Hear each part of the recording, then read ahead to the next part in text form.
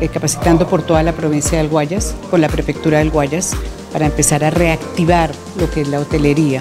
Nuestra prefecta pues creía en el turismo y que era una herramienta y una vía para poder levantar la comunidad económicamente. Muy feliz en esa parte, estoy muy satisfecha. Eh, nos han ayudado bastante como atender a un, a un huésped, a un turista, más que todo tener mucha tolerancia, respeto. Estas capacitaciones nos llenaron de mucho saber, de verdad que hemos aprendido muchísimo. Esto ayuda en general a todo el entorno, a todo el grupo turístico y a la comunidad.